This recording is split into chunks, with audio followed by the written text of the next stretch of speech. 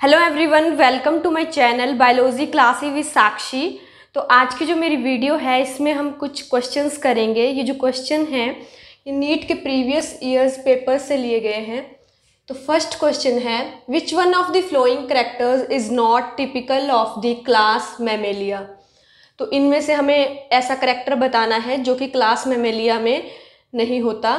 तो फ़र्स्ट है seven cervical vertebrae तो अगर हम खुद में ही देखें तो ज़्यादातर लोगों में क्या होता है कि ट्वेंटी फोर वर्टिब्रे होते हैं। उनमें सेवन जो है सर्वाइकल वर्टिब्रे होते हैं, ट्वेल्व जो है थोरेसिक और फाइव जो है लूम्बर वर्टिब्रे होते हैं। तो ये फीचर जो है, ये करेक्टर जो है, ये तो करेक्ट है। नेक्स्ट करेक्टर है थीकोडॉन डेंटिशन विच मीन्स कि जो हमारा टूथ का बेस होता है, वो सॉकेट ऑफ़ बोन में इनक्लोज्ड होगा। नेक्स्ट करेक्टर है एल्वियोलर लंग्स तो हमारे जो लंग्स होते हैं, उनमें एल्वियोलाई प्रेजेंट होते हैं स्मॉल बैलून शेप के. तो उनका जो फ़ंक्शन होता है, वो क्या होता है? गैसेस का एक्सचेंज ऑक्सीजन और सी का. तो इस तरीके से ये वाला फीचर भी करेक्ट है. तो जो इनकोरेक्ट है, यानी कि जो क्लास में मेलिया में नहीं आता है, वो कौन सा करेक्टर है? वो है ten pairs of cranial nerves option four जो है, इस क्वेश्चन का करेक्ट आंसर है। इस पिक्चर में हम सेवन सर्वाइकल वर्टिब्रे देख सकते हैं, जो कि नेक रीजन में मिलते हैं। और यहाँ हम देख सकते हैं कि कैसे हमारा जो टूथ का बेस होता है, वो सॉकेट ऑफ़ जॉ या हम बोल सकते हैं डीप सॉकेट ऑफ़ बोन्स में इनक्लोज्ड होता है। इस पिक्चर में हम देख सकते हैं कि जो हमारे लंग्स होते हैं, वो एल्वियोलर लंग्स होते हैं।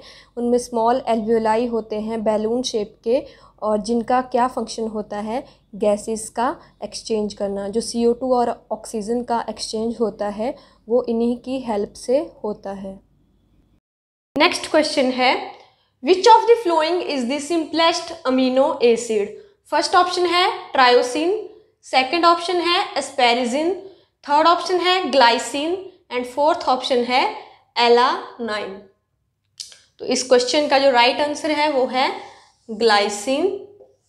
ग्लाइसिन जो है मोस्ट कॉमनली एनिमल प्रोटीन्स में आ, मिलता है। ग्लाइसिन को सिंपलेस्ट अमीनो एसिड इस वजह से बोलते हैं क्योंकि इसकी साइड चेन पे हाइड्रोजन एटम ही प्रेजेंट होता है। देख सकते हो आप इसकी स्ट्रक्चर में, मैंने ब्लू लाइन से मार्क किया है। बाकी जितने भी अमीनो एसिड ऑप्शंस में दिए गए हैं, जैसे कि टायरोसिन एस्पेरिजिन एलानिन उनमें आप देख सकते हो कि साइड चेन में हाइड्रोजन के साथ कोई और ग्रुप है। मैंने ब्लू लाइन से उसको जो है मार्क किया है, आप देख सकते हो। नेक्स्ट क्वेश्चन है question number three which of the following substances if introduce in the blood stream would cause coagulation at the site of its introduction first option है फिब्रिनोजन नेक्स्ट ऑप्शन है prothrombin and third option है heparin and fourth option है thromboplastin तो इस question का जो right right answer है, वो है ऑप्शन फोर थ्रोम्बोप्लास्टिन ये एक टाइप का इंजाइम होता है जो कि ब्रेन में लंग्स में और हमारे ब्लड प्लेटलेट्स में प्रेजेंट होता है। इस इंजाइम का जो मेन फ़ंक्शन है, वो है ब्लड कोगुलेशन में ये हेल्प करता है। अगर इंजरी के टाइम पे क्या होता है कि अगर इसको हम डायरेक्टली ब्लड स्ट्रीम में इंट्रोड्यूस कर देंगे तो वहाँ पे ये क्या कर देगा? ब्लड क्लॉट्स बना देगा कोगुलेट कर देगा ब्लड को और क्या करता है ये मेनली जो प्रोथ्रोम्बिन होता है ब्लड स्ट्रीम में, उसको थ्रोम्बिन में कन्वर्ट कर देता है और इस तरीके से पूरा मैकेनिज्म जो है थ्रोम्बोप्लास्टिन पर डिपेंड करता है, ठीक है? यानी कि ये ब्लड कोगुलेशन में हेल्प करता है। इस पिक्चर में ब्लड क्लॉटिंग या हम बोल सकते हैं ब्लड कोगुलेशन का जो प्रोसेस होता है, उसको जो है शो किया गया है। सबसे पहले स्टेप में क्या होता है कि जब हमें कोई इंजरी हो जाती है हमारे किसी टिश्यू में या वेसल में तो जो इंजर्ड टिश्यू होता है वो थ्रोम्बोप्लास्टिन रिलीज़ करता है और जो प्लेटलेट्स होती हैं, वो क्या करती हैं? प्लेटलेट फैक्टर रिलीज़ करती हैं।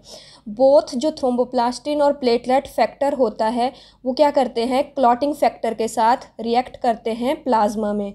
और क्या बनाते हैं? प्रोथ्रोम्बिन एक्टिवेटर नेक्स्ट स्टेप में क्या होता है कि जो प्रोथ्रोम्बिन एक्टिवेटर होता है, वो क्या करता है? कैल्शियम की प्रेजेंस में प्रोथ्रोम्बिन जो कि एक टाइप का इनएक्टिव इंजाइम होता है, उसको कन्वर्ट कर देता है थ्रोम्बिन जो कि एक्टिव इंजाइम होता है उसमें। जो थ्रोम्बिन इंजाइम होता है, वो कैल्शियम की प्रेजेंस में फिब्रिनोजन प्रोटीन को, जो कि एक टाइप की प्लाज्मा प्रोटीन होती है, उसको एक हेयर लाइक स्ट्रक्चर में कन्वर्ट कर देता है इंसोल्यूबल फिब्रिन की फॉर्म में, ठीक है? और ये एक नेटवर्क सा बन जाता है, जो क्या करता है आर को ट्रैप कर लेता है और ब्लड का क्लॉट हो जाता है। For this reason blood clot are sometimes called fibrin clot तो इस तरीके से ब्लड कोगुलेशन या हम बोल सकते हैं ब्लड क्लॉटिंग का पूरा प्रोसेस जो है कंप्लीट हो पाता है। नेक्स्ट क्वेश्चन है। Question number four more than seventy percent of world's fresh water is contained in first option है अंटार्कटिका सेकेंड ऑप्शन है glaciers and mountains third option है ग्रीनलैंड एंड फोर्थ ऑप्शन है polar ice तो इस question का जो right right answer है वो है option four polar ice more than seventy percent of world's fresh water is contained in polar ice next question है E coli cells with the mutated Z gene of the lac can not grow in a medium containing only lactose as the source of energy because first option है in the presence of glucose E coli cells do not utilize lactose second option है the lac operon is constitutively active in these cells and third option है they can not synthesize functional beta galactosidase तो इस question का जो right right answer है, वो है option three E coli cells with a mutated Z gene of the lac operon can not grow in a medium containing only lactose as the source of energy because they can not synthesize functional beta galactosidase next question है. Top shaped multiciliate male gametes and the mature seed which bears only one embryo with two cotyledons are characteristic feature of first option है polypetalous angiosperms second option है gamopetalous angiosperms third option है conifers and fourth option है cycads तो इस question का जो right right answer है वो है option four cycads top shaped multiciliate male gametes and the mature seed which bears only one embryo with two cotyledons are characteristic features of cycads, जो कि एक टाइप के जिम्नोस्पर्म्स होते हैं। डायग्राम आई में हम साइकस का मेल गैमिट देख सकते हैं, जो कि मल्टीसीलिएट है, यानी कि उसमें काफ़ी सारे स्मॉल स्मॉल सीलिया हैं। नेक्स्ट क्वेश्चन है production of a human protein in bacteria by genetic engineering is possible because first option है bacterial cell can carry out the RNA splicing reactions second option है the mechanism of gene regulation is identical in humans and bacteria third option है the genetic code is universal which means that a particular codon specify a particular type of amino acid in all the organisms. तो option third जो है, इस question का correct answer है। The genetic code is universal next question है from the following statement select the wrong one first option है millipedes have two pairs of appendages in each segment of the body second option है prawn has two pairs of antennae third option है animals belonging to phylum Porifera are exclusively marine तो इस question का जो right right answer है, वो है prawn has two pairs of antennae मतलब कि ये जो स्टेटमेंट है, ये रॉन्ग है. प्रॉन के केस में वन पेयर ऑफ़ एंटीने होता है. तो ऑप्शन टू जो है, इस क्वेश्चन का करेक्ट आंसर है और रॉन्ग स्टेटमेंट है. इस पिक्चर में आप प्रॉन के केस में वन पेयर ऑफ़ एंटीना देख सकते हो. वन पेयर का मतलब है कि उसमें दो एंटीना होंगे। फ़र्स्ट एंटीना आप देख सकते हो, स्मॉल अपर साइड को है जो, जहाँ पे एंटीनोला लिखा हुआ है। और जो सेकंड एंटीना है, वो लॉन्ग एंटीना, लोअर साइड को है।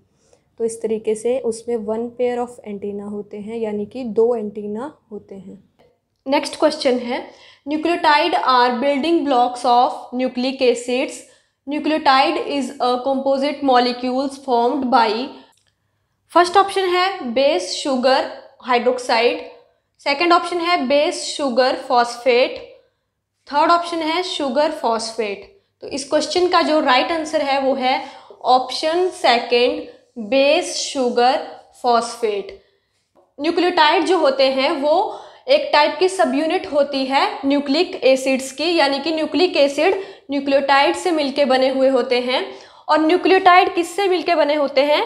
बेस शुगर, फॉस्फेट बेस जो है प्यूरिन और पिरामिडीन हो सकता है, शुगर जो है राइबोज शुगर हो सकता है, या डीऑक्सी राइबोज शुगर हो सकता है, जैसे आरएनए के केस में राइबोज शुगर होता है और डीएनए के केस में डीऑक्सी राइबोज शुगर होता है और फॉस्फेट ग्रुप इन तीनों से मिलके बना होता है न्यूक्लियोटाइड और न्यूक्लियोटाइड से क्या बनता है? न्यूक्लिक एसिड्स यानी कि आरएनए और डीएनए तो इस क्वेश्चन का जो राइट right आंसर है, वो है option second base sugar and phosphate group इस पिक्चर में आप देख सकते हो कि न्यूक्लियोटाइड जो है फॉस्फेट ग्रुप शुगर और नाइट्रोजनस बेस से मिलके बना हुआ होता है। और न्यूक्लियोटाइड क्या होते हैं? बिल्डिंग ब्लॉक्स होते हैं न्यूक्लिक एसिड के, यानी कि डीएनए और आरएनए के। तो जो शुगर होती है वो आरएनए के केस में राइबोज शुगर होती है और डीएनए के केस में डीऑक्सी राइबोज शुगर होती है।